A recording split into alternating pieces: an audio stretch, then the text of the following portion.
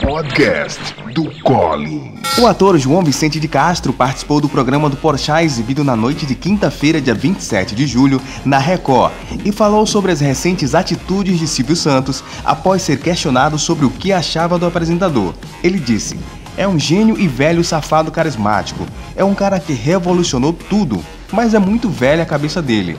Acho homofóbico muitas vezes, acho machista, misógino, acho um monte de coisa. E não acho que seja tolerável porque ele tem 85 anos, não. Mude! Apesar das críticas, João Vicente afirmou que ama Silvio Santos. João ainda contou que costuma ser atencioso com os fãs ao ser abordado por eles. Quando eu era casado com a Cleo, eu era anônimo por opção. Uma vez que eu estou fazendo novela, eu acho babaquice ficar não querendo falar com as pessoas, disse o ator, que recentemente participou da novela Rock Story, Clayton Collins para o Podcast do Collins.